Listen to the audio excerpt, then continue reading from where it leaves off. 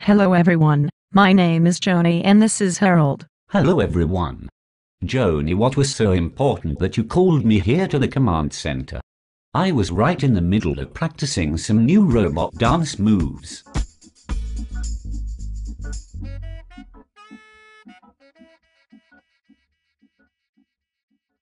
Harold, no more robot, you big dork. You promised. We are here because the amount of malicious email is out of control and more and more people are falling victims to elaborate phishing scams and spam. That sounds horrible, Joni. But what can we do? Well, Harold, October is Cybersecurity Awareness Month and I thought we could share some examples of malicious emails to highlight the kinds of tactics people should look out for. Fantastic. I think that is a brilliant idea. Okay then. I brought along some examples taken from my spam filter. I thought you and I could take turns reading a few. Fantastic. If people hear us reading them, they will see just how ridiculous they sound and hopefully not fall victim to them or similar ones. You're exactly right, Harold. If people would only imagine one of us as they read a suspicious email, it might help them realize it is not legitimate and that they should just delete it. Really, Joni? They should just delete suspicious emails. Absolutely. Just delete them without a second thought. I suppose you are right. If it was legitimate, the sender will try again or just give them a phone call. That's right. And there is no need to call the help desk or the CIO, just delete it and maybe set up a filter to handle the next one automatically. Sounds like good advice. What about those examples you mentioned? Here's the first one from Fabrenko with the subject title of Hello My Love. Why don't you read this one?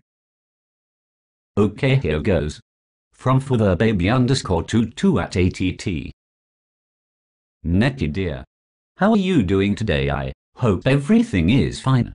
If so, thanks be to God Almighty who made it so. My name is Favor and I am a girl.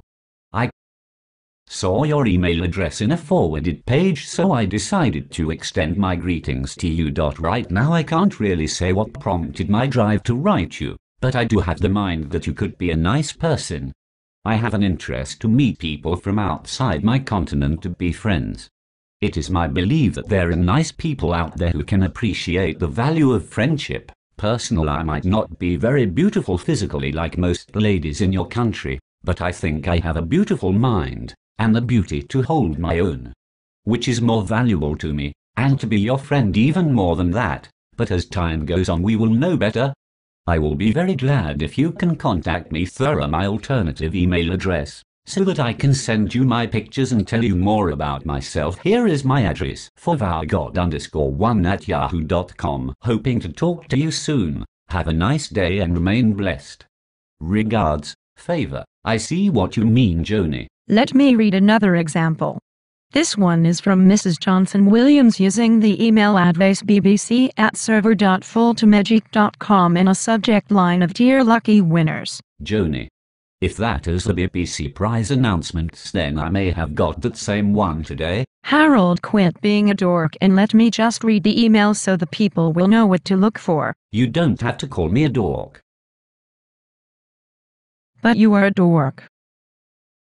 Here is that example http colon slash slash www.bbc.co.uk slash lottery slash September 9th draw no. 155,315, 26, 30, 35, 40, 41 bonus 34 Dear lucky winners, consolation prize winner notice. Your email has won you £750,000, 750,000 Great Britain pounds in this year's copyright 2011 BBC Email Award promo.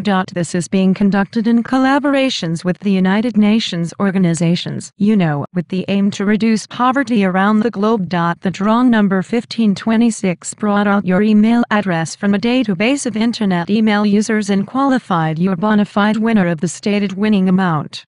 Please use this money to bless other people around you by being generous. You have to always keep in touch with us on phone or emails, and always reply to every email which we might send to you.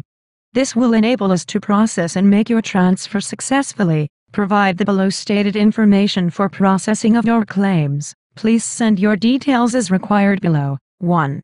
Name in full. 2. Home address. 3. Age. 4. Sex. 5. Occupation. 6. Direct phone number. 7. State. 8.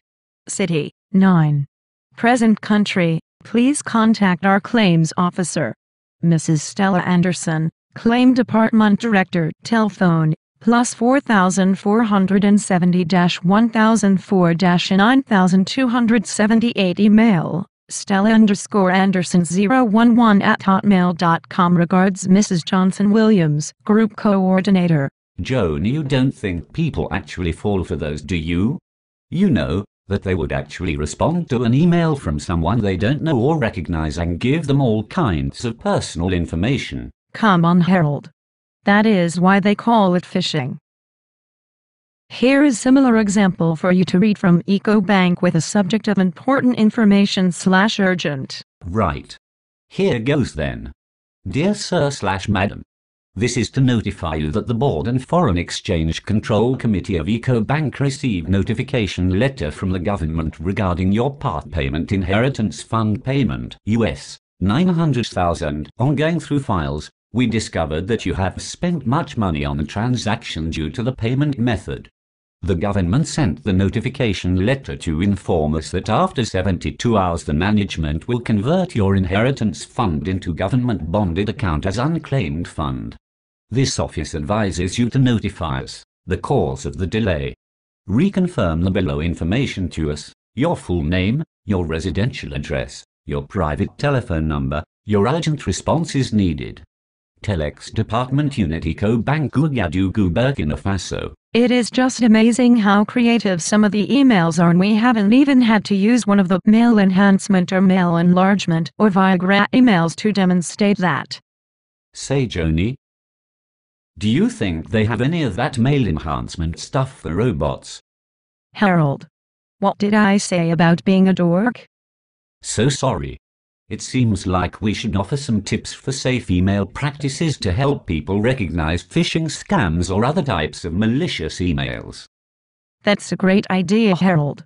But before we do that, I wanted to also mention phishing attacks may also appear to come from other types of organizations, such as charities. Attackers often take advantage of current events and certain times of the year, such as natural disasters like Hurricane Katrina or the Indonesian tsunami, Epidemics and health scares like the H1N1 or economic concerns and IRS scams are also used. But so are major political elections and holidays. Joni, I am so glad you remembered that last bit. Now about those tips to avoid being a victim of phishing attack. 1. Never respond to emails that request personal or financial information. Banks or e commerce companies like Amazon and eBay generally personalize emails, while phishers do not.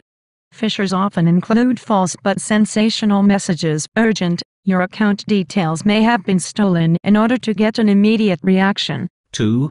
Be suspicious of unsolicited email messages from individuals or companies you don't recognize particularly emails that are not from ICOM or net account that end in unusual country abbreviations. 3. If you are unsure whether an email request is legitimate, try to verify it by contacting the company directly. Do not use contact information provided on a website connected to the request. Instead, check previous statements for contact information. 4.